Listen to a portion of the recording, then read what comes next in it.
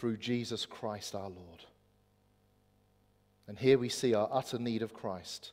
For even when we fall and fail, we have a Savior who is sufficient to lift us up. And what does he say? Go again. Go again. Keep going. Keep going. That's what he says. You might say to me at this point, but Richard, this sounds rather too demanding.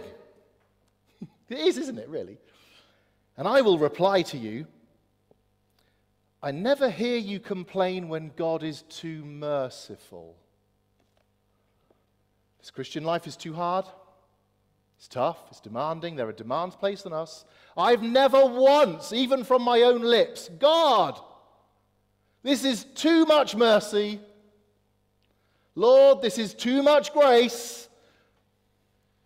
You need to limit the grace and the mercy, which is what I would like to do naturally, right? But we do complain when it gets tough.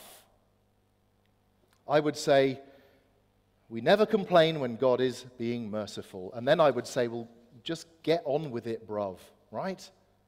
Because Christian faith is that tension between the extreme demand put on Christ. I dare you.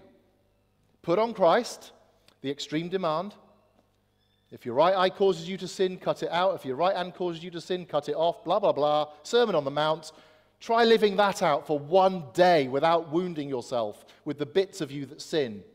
So we have extreme demand. And then we have the extreme mercy of God who raises us up in repentant faith and says, Go again, my child. Go again. How cool is that?